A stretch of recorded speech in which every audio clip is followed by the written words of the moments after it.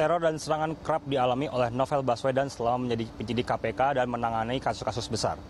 Sebelum peristiwa penyiraman air keras pagi tadi, Novel juga pernah ditabrak. Serangan yang sempat ramai adalah saat kasus penanganan korupsi Bupati Buol, Amran Batalipu pada Juni 2012 lalu. Novel mendapat serangan dari sekelompok pendukung Amran saat memimpin operasi penangkapan. Sepeda motor yang dikendarai Novel ringsek karena ditabrak mobil yang mengawal Amran. Selain itu, Novel ditabrak lagi pada pertengahan 2016. Saat itu, Novel ditabrak oleh sebuah mobil saat dirinya akan berangkat menuju kantor KPK. Kejadian itu terjadi saat Novel beranjak dari tempat tinggalnya dan Novel terpelanting dari motor dan mengalami luka-luka. Hari ini Selasa 11 April 2017 serangan kembali dialami Novel. Dua orang pengendara motor menyeramkan air keras ke wajahnya usai melaksanakan salat subuh di masjid dekat rumahnya.